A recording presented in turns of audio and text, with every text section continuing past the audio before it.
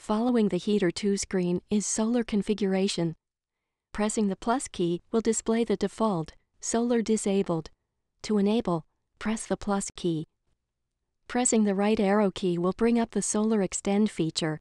This feature is similar to the Heater 1 example previously covered.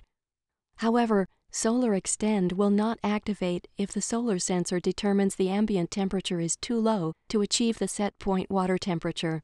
Press the plus key to enable or the right arrow to move to the next option, which is Solar Priority. If enabled, Solar Priority will require the Pro Logic to utilize the solar heater if enough heat is available based on the solar sensor readings, rather than heater 1 or 2. Press the plus key to enable or press the right arrow key to move to the next feature. The display will now read Allow Low Speed. As with Heater 1, please refer to the solar manufacturer's recommendations to determine the flows required.